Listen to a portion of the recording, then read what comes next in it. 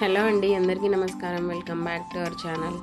ఈరోజు ఒక మంచి వీడియోతో మేము ముందుకు వచ్చానండి. రాబోయే వరలక్ష్మి వ్రతానికి అమ్మవారికి అలంకరణలో భాగంగా జడ ఏ విధంగా తయారు చేసుకోవాలో చూద్దామండి.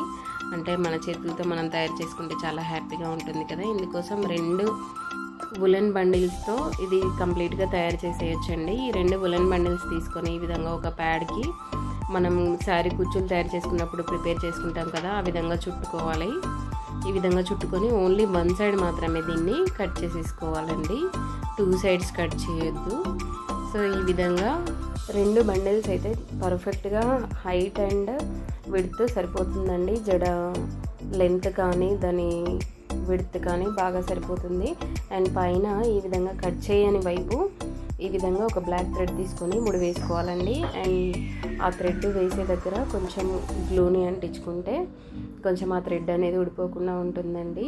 అండ్ ఇప్పుడు ఈ ఉలన్ని మూడు పాయల్లాగా తీసుకోవాలండి. సేమ్ మనం జడ ఏ విధంగా వేసుకుంటామో అప్పుడు ఏ విధంగా త్రీ సపరేట్గా చేస్తామో అదే విధంగా ఈ ఉలన్ని త్రీ లాగా సపరేట్ చేసుకొని ఈ విధంగా మొత్తం అల్లుకొని సిద్ధం చేసుకోవాలండి.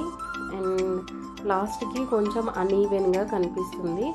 సో దానికి కూడా నేను ఒక టిప్ చెప్తాను. సో ఈ విధంగా కంప్లీట్గా అల్లుకుంటే అండ్ మంచి చాలా లుక్గా కనిపిస్తుంది.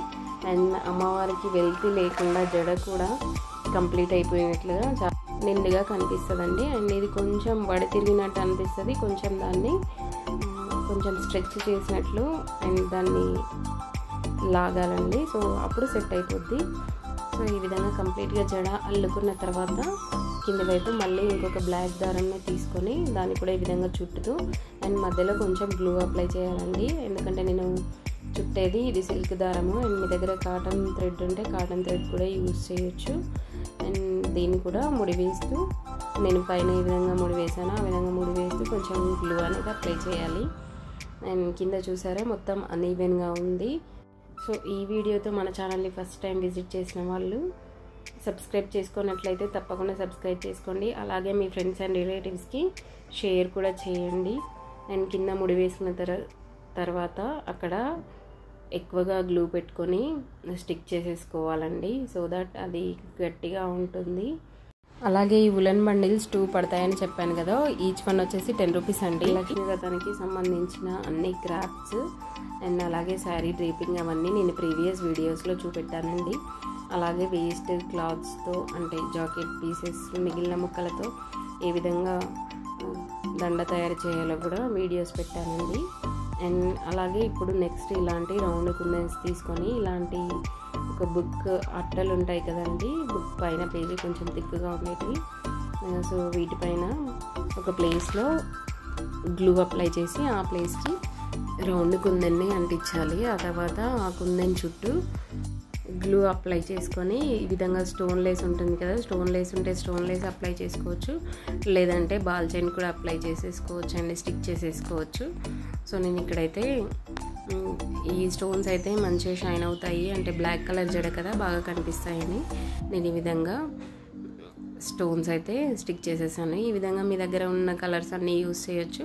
నేను జస్ట్ టూ కలర్స్ యూజ్ చేశాను. అండ్ నాకు త్రీ అయితే సరిపోయాయి. సో ఈ విధంగా త్రీ వాటిని అయితే అంటించుకొని కాసేపు అయితే డ్రై అవ్వనివ్వాలండి. అండ్ ఫస్ట్ మిడిల్ కుందని అంటించుకున్న తర్వాత కాసేపు డ్రై అవ్వనివ్వాలి. లేకపోతే అది మూవ్ అయిపోతుంది. సో దట్ చుట్టూ ఉన్న స్టోన్ లేస్ కూడా మూవ్ అవుతుంది. అందుకోసమని రెండింటిని మూవ్ మూవ్ అవ్వకుండా డ్రై అవ్వనివ్వాలి. అండ్ నెక్స్ట్ అది కంప్లీట్గా డ్రై అయిపోయాకనే ఈ విధంగా కరెక్ట్ ఆ షేప్ ప్రకారం మనం రౌండ్గా తీసుకున్నాం కదా సో కరెక్ట్గా ఆ స్టోన్ లేస్ చుట్టూతో మనం కట్ చేసుకోవాలండి. ఈ విధంగా ఈ త్రీ కుందన్స్ని సేమ్ ప్రాసెస్లో కట్ చేసేసుకోవాలి. అండ్ చూసారా చాలా బాగుంది. అండ్ ఈ విధంగా ప్రిపేర్ చేసుకున్న కుందన్స్ని ఇప్పుడు మనం ముందుగా తయారు చేసి పెట్టుకున్న ఉలన్ జడకి స్టిక్ చేసేసుకోవాలి. చూసారా చాలా బాగా కనిపిస్తుంది. ఎందుకంటే బ్లాక్ పైన ఈ విధంగా kundans along with white colour stones కాబట్టి చాలా బాగా కనిపిస్తుంది. సో ఆ తర్వాత ఫస్ట్ బాల్చైన్ తీసుకోవాలండి. బాల్చైన్ తీసుకొని ఈ విధంగా మొత్తము చుట్టేసుకోవాలి. నేను వీడియోలో చూపించినట్లుగా ఎగ్స్ షేప్ వచ్చేలాగా అండి. చూడండి నేను నేను ఏ విధంగా చుడుతున్నానో. జస్ట్ అంటే బాల్ చైన్ ఎక్కువగా తీసుకోకూడదు. దానివల్ల కూడా అంత కన్ఫ్యూజన్ వస్తుంది. అందుకోసమని ఈ విధంగా తీసుకోవాలి. చూడండి ఈ విధంగా. అండ్ మళ్ళీ పైకి. ఈ విధంగా ఎగ్స్ షేప్ లాగా వచ్చి క్రాసెస్ లాగా వచ్చేలాగా తీసుకు చుట్టేసుకోవాలండి మొత్తము ఈ బాల్ చైన్తో. సో ఈ క్రాసెస్కి మిడిల్లో ఒక్కొక్క క్రాస్కి రెండు క్రాసెస్కి మిడిల్లో మనము ఆ కుందన్స్ని స్టిక్ చేసేసుకోవాలి. సో ఈ బాల్ చైన్ అనేది అటు ఇటు మూవ్ అవ్వకుండా నేను గ్లూతో స్టిక్ చేసేసానండి అండ్ ఆ మిడిల్ మిడిల్లో అండ్ ఆ బ్లా బాల్ చైన్ ఉన్న ప్లేసెస్లో మొత్తం నేను గ్లూ అప్లై చేశాను. అండ్ అలాగే ఈ రెండు క్రాసెస్కి మిడిల్లో మనం ముందుగా ప్రిపేర్ చేసుకున్న గుందెన్స్ ఉన్నాయి కదా వాటిని స్టిక్ చేసేస్తున్నాను. సో చూడండి ఈ విధంగా స్టిక్ చేసేసుకోవాలి. టోటల్గా త్రీ ఏ ప్రిపేర్ చేశాను. అండ్ మీరు కావాలంటే ఇవి కొంచెం దగ్గర దగ్గరికి కూడా చేసేసుకోవచ్చు. కాకపోతే మరీ అంత గజిబిజిగా కనిపిస్తుందని నేను ఈ విధంగా కొంచెం గ్యాప్ ఇచ్చి చేసేసాను. అండ్ త్రీ కుందన్స్ అయితే సరిపోయాయి.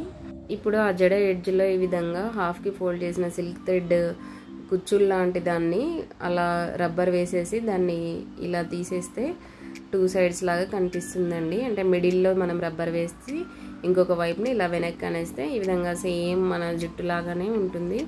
సో ఇప్పుడు అమ్మవారికి పెడితే ఎంత అందంగా ఉందో చూడండి. చాలా బాగుంది. అసలు అమ్మవారు చాలా నిండుగా కనిపిస్తున్నారు. అండ్ ఆ సిల్క్ థ్రెడ్ యూజ్ చేయడం వల్ల చూడండి ఎంత అసలు చాలా బాగా కనిపిస్తుంది నీట్గా.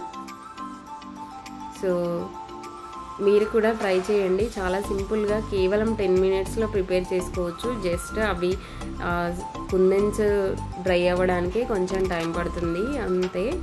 అండ్ ఆ బాల్ చైన్ కూడా అతకడానికి కొంచెం టైం పడుతుంది. Remaining process everything is same. And మన వీడియోస్ అన్నీ చూసి లైక్ చేసి అలాగే షేర్ చేయండి. అండ్ మన ఛానల్ని కొత్తగా విజిట్ చేసిన వాళ్ళు తప్పకుండా సబ్స్క్రైబ్ చేసుకోండి. సో ఇదండి ఇవాళ మన video. Thank you for watching that's all for today bye bye